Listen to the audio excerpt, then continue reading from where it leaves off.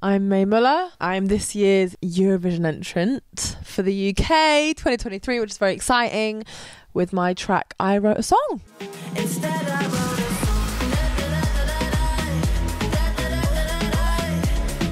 So the song came about. It's actually so strange. I so I went into the studio, um, and I had a bit of the, I had the pre-chorus, trash your bins, tell all your friends. That bit, um, I had that already written. Wanted to smash your bins, tell all your friends just how, how cruel you were to me. I, I had just come up with it at home and I knew I wanted the concept to be about, you know, around like using like writing to like get me through stuff. And like and like to me that's like the sweetest like revengeable Yeah, yeah, or that's whatever. it, It's like yeah. I wanted to like do all this crazy fucking psycho shit to you Yeah, and instead I just and like wrote a tune about it. physically yeah, like, like that. ruin you, but now I'm just gonna like I just wrote my little song about it and Yeah. instead that's like now you can't escape me for real. So I kind of went into the studio with Karen Poole and Lewis Thompson, who are both like amazing, amazing, you know, musicians. And, you know, we kind of they really helped me kind of bring my ideas to life. And then at the end of the day we basically had the song pretty much done. And then a few days later was when um you know Eurovision was sort of put on the on the table. And I was like I feel like I've just written a Eurovision song. This is so strange. I think the song fits Eurovision because I think first and foremost like it is just like a it's fun. It's a bop. It gets hopefully it gets people up and dancing. And I also think you know the whole ethos of Eurovision is sort of being yourself and kind of it can bring the confidence out in each and every person no matter what you know you look like no matter where you're from i think. And that's kind of in my music what i've always wanted to do. And especially with this song it's sort of like you know a bad b bop about you know not letting people take you for an idiot but also how do we get through that how do we overcome that and i think you know at the core of Eurovision it's you know no matter what we kind of overcome as people we're all you know I think music can always like bring us back together again. I before you release a song, obviously you never know like you never know what the reaction is going to be. I always loved the song. The second I wrote it, I was like, this feels really good. You know, before, you never know what other people are going to think. So the fact that the you know the response has just been like overwhelmingly lovely. I see people are out and about and they're playing it and they're like playing it in the club and that makes me so happy just to seeing just to see people like resonating with it and to see people having fun i think we need we need some joy in our lives especially now so i think it that just makes me really really happy seeing people just enjoy it. It's been amazing. I think you know there's so many there's a lot of different people involved and but i think everyone has everyone just feels so so excited you know like bbc tap and then you've got my own management and my own label and i feel like everyone's just come together to kind of really really like make the most of this amazing experience and it just feels i feel really lucky to kind of have people around me that are just just as excited as i am and everyone's kind of i think even to you know to them and to tap and bbc i feel like everyone can feel that this year feels very very special. So it's been really nice working with people that kind of know what they're doing but are also really really excited as well. I think that obviously it being on sort of home soil i think there is a bit of extra pressure but i think that pressure is good. I feel like it drives me to do well to work even harder and like what an amazing thing to get to host on behalf of Ukraine. I think that is really, really important that they feel, you know, celebrated too. Um, because it's their year, really, but um, it's an honor to, you know, to host on on on their behalf. Um, and yeah, it just feels like an extra, extra special. Just makes it extra special. I think Liverpool's such an iconic place for music and music history, so it just feels, it feels right. Do you know what? I feel good. I think when I got over the, you know, initial like, oh my God, what? Like, I can't do that. That's insane. I think, you know, because I, you have to get over the imposter syndrome, self doubt. And I was like, do you know what? What an amazing thing to be able to close Eurovision in your, like, in your own country while you're hosting. I just think that is like, what an honor. And i think you know the song in itself like it's upbeat it's a bop. I feel like it will have people getting like up and dancing and that's kind of all I all I want is to end you know end the evening on a high note and hopefully leave everyone with like a really positive you know taste in their mouths. A positive taste in their mouths you know what I mean I feel like there's been so many there's so many icons that have been born obviously ABBA being sort of that this was like their sort of welcome into the world of pop, I suppose, and they're so iconic. I love ABBA; they're like my heroes. Um, I also sort of like the other end of the spectrum, but in 2007, uh, Scooch with "Flying the Flag," I just honestly loved how like camp and fun and like I just it just stuck with me. I still remember it, and I think it's gone down as like one of the more like iconic performances. And even though in the UK we've sort of steered away from that vibe, I think that to me was kind of a big part of what Eurovision was about. Just fun. I have a lot. I'm such a fangirl, so I literally just like love everybody. Um, I think Blanca Paloma's amazing. I think Teya and Salena with their um, you know, who the hell is Edgar? I think that's so original and fun and Noa Kirel. I think she is going to be an amazing performer. I think she's going to have a mad.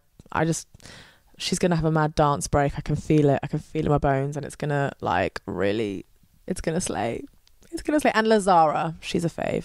And Alessandra. There's too many girlies. There's too many amazing girlies. I love them all. I think Sam Ryder. I mean, obviously Sam Ryder's a supreme talent. I think his voice is incredible, but I think he actually just took it really seriously and like that, that it was not like it wasn't a joke to him. Like he, you know, he he made every single moment of that experience count, and you could really, you know, you could tell and and it and it showed. Um, and I think the song is just universal, universally could just be loved and enjoyed, and it's just really uplifting and him as a person, you know, he's just such a bright light, and I think people really feel that, um, and you really warm to him. Whether you know you're a fan of Eurovision or you've never seen it before, like you see Sam perform and you're like, I like that guy. I like this guy. Um, and he has been, yeah, he's been kind enough to give me some advice. And he just said, you know, it's such a whirlwind, but just enjoy it. Enjoy every minute. Enjoy and just take each day as it comes because you know it is it's it's a lot and you know it's very busy but just don't, you don't want to look back on it and go oh i wish i kind of took that in a little bit more. So that's what i'm trying to do just take each day as it comes focus on what's in front of me but also you know focus on the bigger picture but don't let it get too overwhelming. I think for me i'm quite bad at like switching off so i've been really trying to make an effort to you know when i am at home trying to like do things just for myself even whether that's just like reading a book like giving my time to like put my phone away like don't stop the doom scrolling because i love a doom scroll like i'll literally be like what are they saying about me? Let me read it all like no that's like never gonna help. Never gonna be productive. I mean most people are absolutely lovely but you know you get the odd the odd mean person but I, I think it's just like giving yourself that grace of like putting your phone away like social media away and just like you know having some some quiet and I think I've tr- trying to I've been trying to like give myself that more or just like watching my favorite show and like not allowing myself to like switch off from everything. It doesn't happen very often, but when it does, I really enjoy it. I say go for it, you know? I think it's an, a one in a million experience.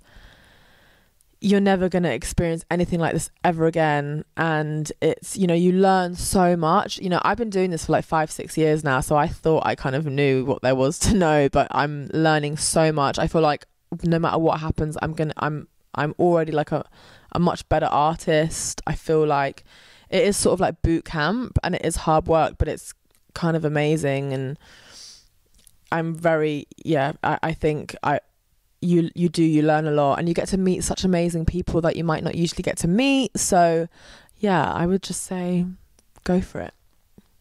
I highly recommend.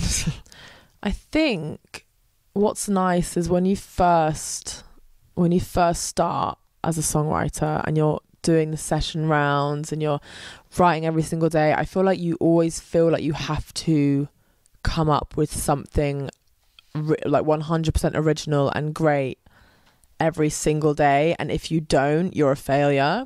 And i think the sooner you kind of get the sooner you kind of get rid of that mentality the better because no one you can't have a good day every single day. And i think just going in there having fun but if it doesn't if it doesn't come to you it doesn't come to you. Don't beat yourself up about it because i think as songwriters we're quite hard on ourselves and we hold ourselves to quite high standards but if you're in the studio or wherever you write and it's like not flowing it's not happening that's absolutely fine that's absolutely fine because what you're probably writing like 250 300 days out of the year all you need is one banger.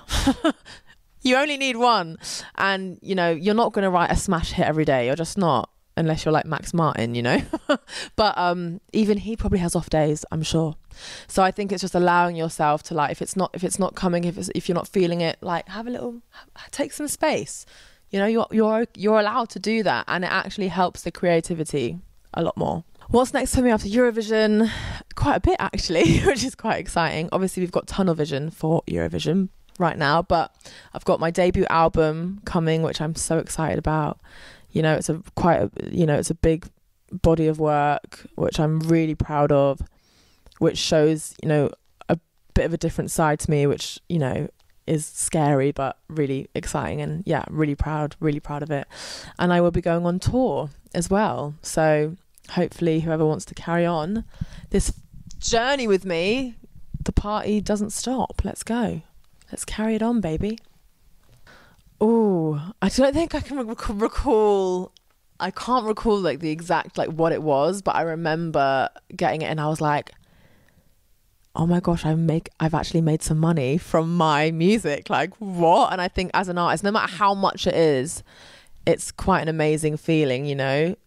Um when when that starts to happen you're like this is crazy this is like thoughts and all my feelings from in my head and now it's like i can go and buy myself a snack with the money that i made. That's fun. Um, and i think you know royalties are extremely important. I think there's definitely like work to do where songwriters are you know concerned but i think it's it's quite a mentally it's it's an amazing job but it's very kind of emotionally mentally draining. So i think you know people deserve to be kind of rewarded and and and, and reap the benefits of that